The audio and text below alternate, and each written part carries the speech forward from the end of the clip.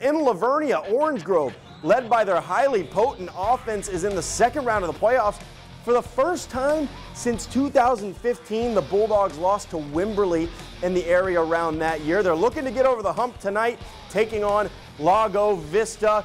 Lago Vista going to receive. We did a story about this uh, Orange Grove offense, but they faced an offense that was every bit as good as they were Adrian Hernandez to Bowen Staub over the middle. 7 0 Vikings with 10.48 to play in the first quarter. Only took a minute 12 to score right off the bat.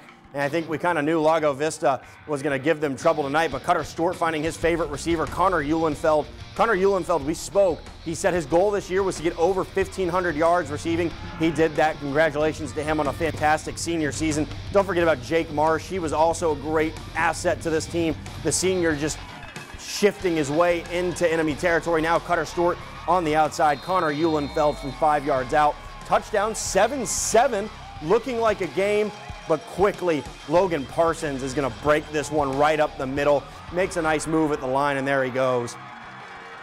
14 7. And Lago Vista is going to run away with this one. Final score from La Vernia tonight 48 to 15. Orange Grove season comes to an end.